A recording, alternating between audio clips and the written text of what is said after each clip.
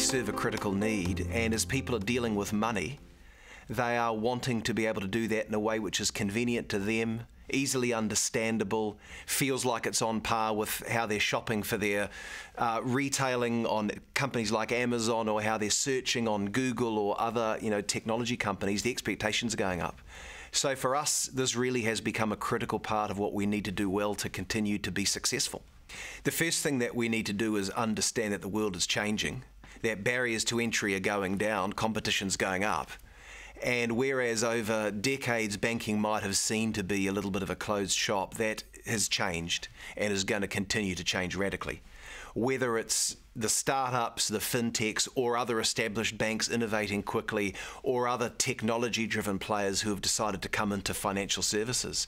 So, you know, we benchmark ourselves against our traditional competitors. They're generally very good. We have to work hard to compete well against them. But these days, that's just the start of the challenge. Uh, even if you feel you're doing a reasonable job against the traditional competitors, looking days, weeks, months ahead, there are a whole lot of other choices for customers. But at the end of the day, it's good for customers, and you've got to believe that what's good for customers is going to be good for the industry if they can respond well.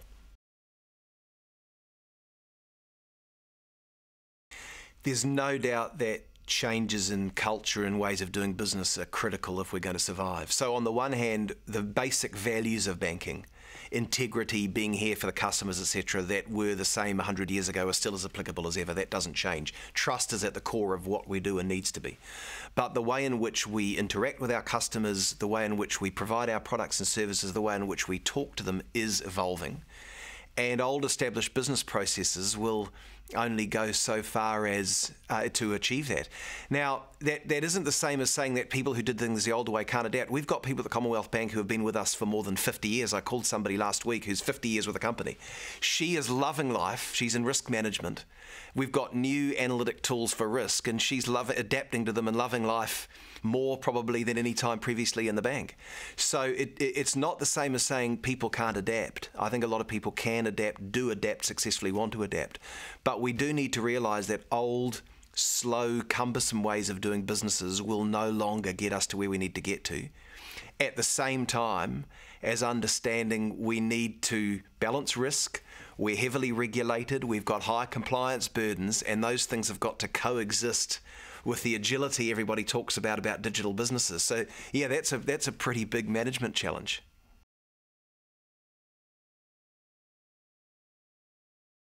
At some level, there is a logic for banks buying startups. I mean, for the Commonwealth Bank's perspective, a couple of years ago, we bought a small fintech business in South Africa called Take Your Money Everywhere. The reason we bought it was because we've got businesses in emerging markets and we weren't able to crack a particular way in which digital account opening could deal with the new regulation, and particularly the know your customer requirements of anti money laundering legislation.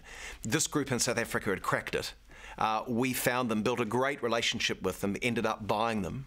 Uh, a couple of years later, their founders are still leading the business. Uh, the rate of innovation has gone up. And actually, the combination of the resources and the know how of the Commonwealth Bank and the agility and uh, entrepreneurial nature of the startup have worked very, very well. Now, on other occasions, they're going to be competitors, and on other occasions, you've got to realise that sometimes when a big company buys a small company, the fit just doesn't work because often the bureaucracy can quash the innovation.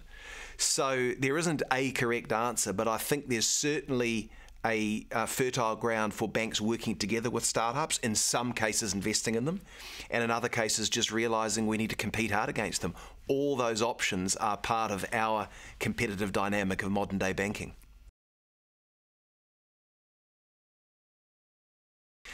Well, we are probably at the Commonwealth Bank a little bit of an outlier on the topic of branches because while we believe that the digital interface with customers needs to be exceptionally good, we believe that for the medium term at least, and beyond that I can't predict, branches are going to continue to play a critical role. They change. So our branches are now on shorter lease lives. We tend to have them over four or five years. We don't own them so they're much more adaptable.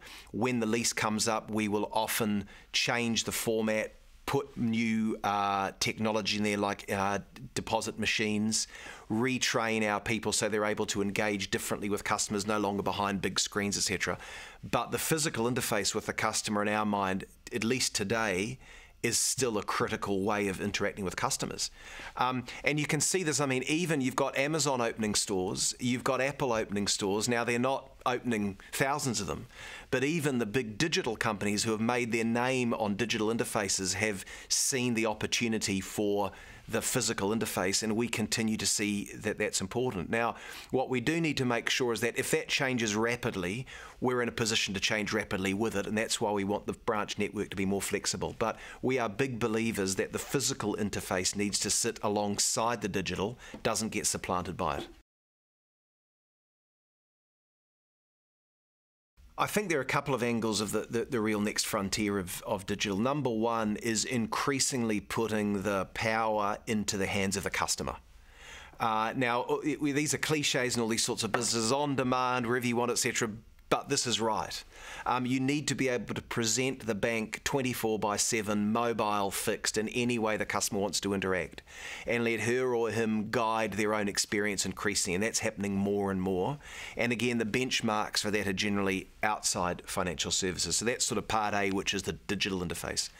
Underneath that, there's the increasing power of analytics, uh, of smart computing, of computing power, um, of machine learning, and that's enabling our data to enrich the individual customer's experience. And we're seeing this very powerfully today with small business.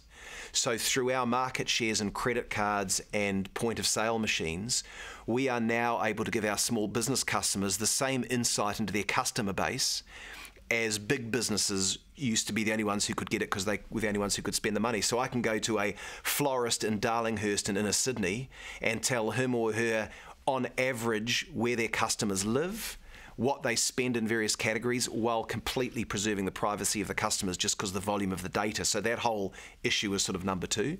And number three, undoubtedly, with artificial intelligence and robotics, the digital capability is transforming the what used to be called the back office of the bank. So all those three things are coexisting, and they're all continuing. Um, the innovation's continuing at a rate of knots, so there there is no off season. Uh, there's no time to take a breath, and the rate of change is very very intense.